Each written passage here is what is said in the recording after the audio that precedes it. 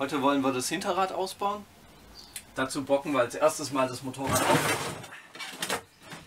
Und da fangen wir relativ weit hinten an, damit es nach vorne kippt. Wenn wir das zu weit vorne aufbocken würden, kippt es nach hinten und dann kriegen wir das Rad nicht raus.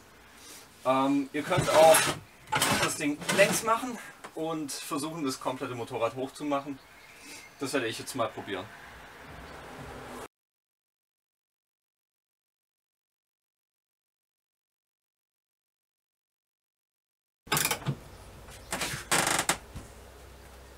So, da sieht man schon, dass es sich dreht.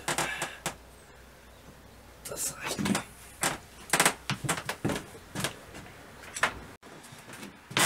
Und dann geht's auch schon los. Also.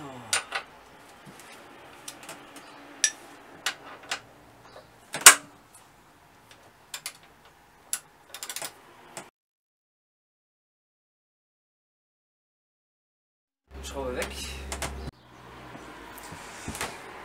So, ich habe jetzt äh, das, das Hinterrad ein bisschen stabilisiert mit diesen Aufbockhelfern. Äh, habe jetzt das Rad äh, mit dem Keil hier unten äh, ein bisschen nach oben äh, fixiert, so dass ich jetzt die Achse, die hier ist, eigentlich ganz bequem rausnehmen können sollte.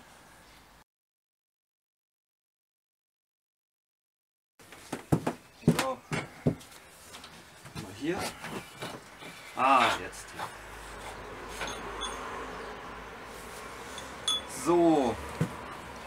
Was ihr auch machen könnt, was ich jetzt nicht gemacht habe, um das leichter rauszukriegen, ist hier diese Verstellschrauben etwas zurückdrehen, damit ihr hier mehr Spiel habt. Das Problem ist, wenn ihr das macht, müsst ihr das nach dem Montieren wieder justieren, weil sonst euer ähm, Zahnriemen, also euer Antriebsriemen nicht richtig justiert ist und eventuell kaputt gehen würde.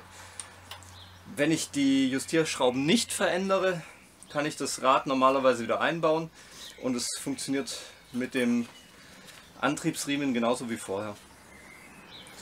So, die legen wir auf die Seite. Die Abstandshalter sind nicht weiter relevant. Die hier gucken wir uns an, ob die Beschädigungen hat. Riefen, sollte eigentlich gar nichts dran sein. Bisschen dreckig ist sie, machen wir noch sauber. Sieht soweit okay aus.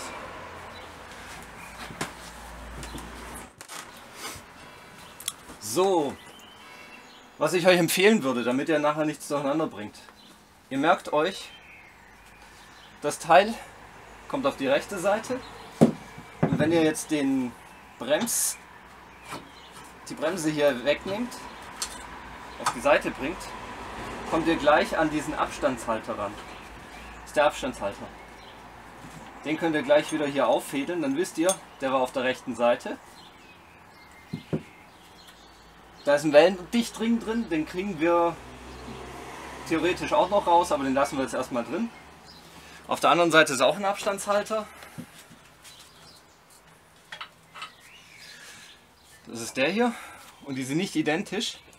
Und deswegen müssen wir darauf achten, dass die nachher auch wieder an die richtige Stelle kommen. Klar. Nächstes den Zahnriemen. Das seht ihr von der Seite natürlich nicht. Da ich jetzt das Rad ein bisschen nach äh, vorne und zur Seite geschwenkt habe, kann man jetzt den Zahnriemen schön runter machen. Den hängt ihr euch einfach auf die Seite, damit er nicht im Weg ist. Und dann kommt das Rad schon raus. Hier hinten müsst ihr aufpassen. Das müsst ihr ein bisschen fädeln und dann passt das. So, Rad ausgebaut. Was machen wir damit? Kugellager tauschen würde ich sagen. Wir müssen als erstes mal den Wellendichtring äh, entfernen. Da geht ihr hier einfach rein, zieht, drückt da ein bisschen und bei so kleinen Kugellagern kommt der ruckzuck raus. Kein großes Ding. So, jetzt sehen wir hier schon die Kugellager. Auf der Seite vom Antriebsriemen sind zwei, auf der anderen Seite ist einer. Wenn ich den jetzt hier bewege, merke ich, alle funktionieren bewegen sich auch und wenn ich ein bisschen zur Seite drücke, dann spüre ich mit dem Finger, dass es hier Stellen gibt, an denen die, die Kugeln im Kugellager scheuern. Das heißt, die Kugellager sind kaputt. Sobald ich merke, dass hier die Kugellager irgendwo scheuern, ist was nicht in Ordnung. Das Ein- und Ausbauen habt ihr ja gerade gesehen, das dauert ungefähr fünf Minuten und es hilft euch relativ schnell rauszufinden, ob die Kugellager äh, defekt sind oder nicht. Wenn ihr jetzt sagt, ah, die Kugellager sind in Ordnung, könnt ihr in fünf Minuten das Ding wieder einbauen, Schwamm drüber, alles gegessen, keine 30 Euro für neue Kugellager ausgegeben.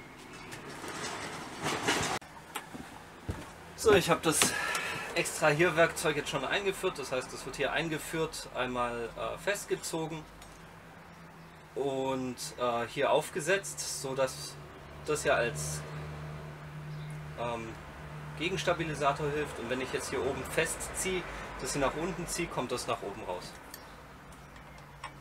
Also machen wir das mal.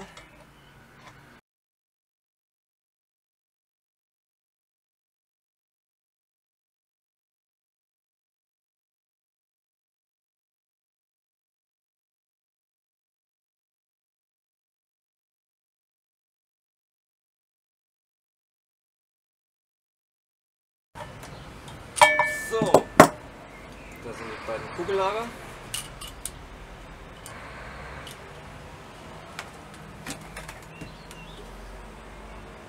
Ja, da haben wir Späne drin.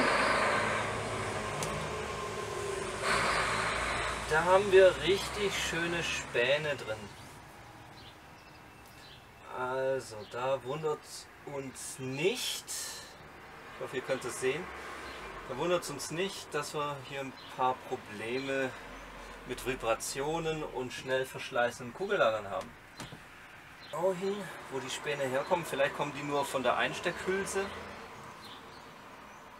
Nee, das sieht... Also ich spüre hier deutliche Riefen. So sieht das ganze Ding jetzt aus. Und wenn man ganz genau hinguckt, kann man auch die Riefen erkennen. Die sind hier. Also spüren tut man sie sehr deutlich. Und das scheint so, wenn ich das richtig spüre, wenn ich rundherum gehe, als wäre zwischen den zwei Kugellagern, die sich hier drin befinden, äh, hätte sich so ein Grat gebildet. Als wäre das innere Kugellager nicht so stark eingepresst gewesen wie das äußere Kugellager.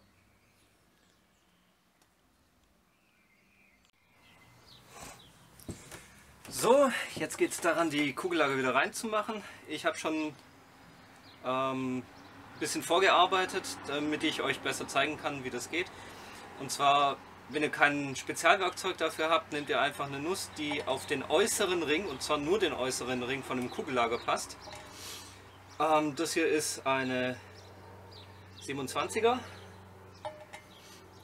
Ihr setzt es auf und macht ganz kleine, leichte Schläge. Das Ding sollte relativ leicht und ohne großartig Gewicht, also ihr könnt einen richtig kleinen Hammer benutzen, ähm, sollte das da richtig reinflutschen. Ich habe natürlich vorher alles sauber gemacht, äh, ein bisschen eingefettet, damit das hier alles äh, wieder wie neu ist.